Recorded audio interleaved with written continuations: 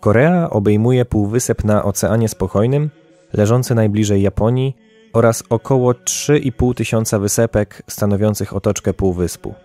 Dzisiaj są tu dwa państwa. Kościół wszedł na te obszary późno, bo dopiero w XVIII wieku. Wtedy też misjonarze rozpoczęli swoją pracę, a w roku 1794 jeden z nich poniósł śmierć męczeńską. W roku 1831 został w Korei erygowany pierwszy wikariat apostolski, powierzony paryskiej misji zagranicznej. Zaczęły się jednak prześladowania.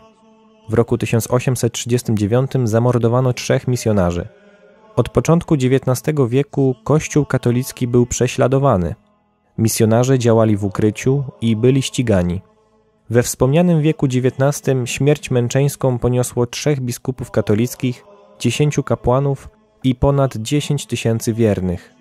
Tylko część tych osób dostąpiła wyniesienia na ołtarze.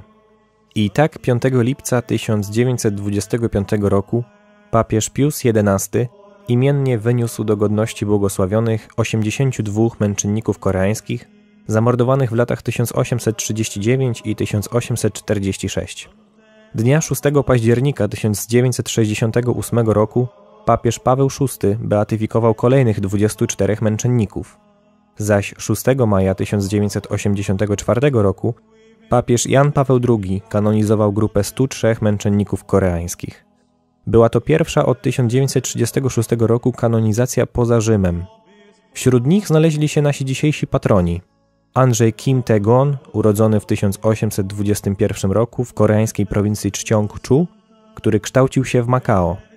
Został wyświęcony na kapłana w 1845 roku w Szanghaju.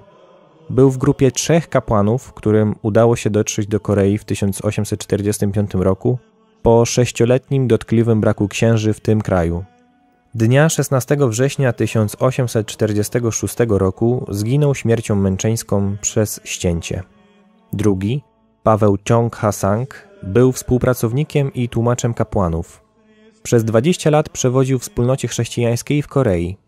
Miał zaledwie 44 lata, kiedy został ścięty w Seulu 22 kwietnia 1839 roku.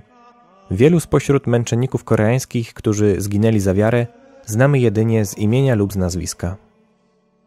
Módlmy się. Boże, Stwórco i Zbawicielu wszystkich narodów, ty wezwałeś do wiary naród koreański i umocniłeś go przez chwalebne męczeństwo świętych Andrzeja, Pawła i towarzyszy.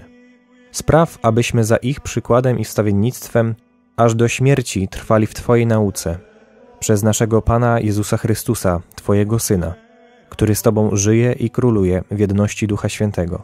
Bóg przez wszystkie wieki wieków. Amen. Christ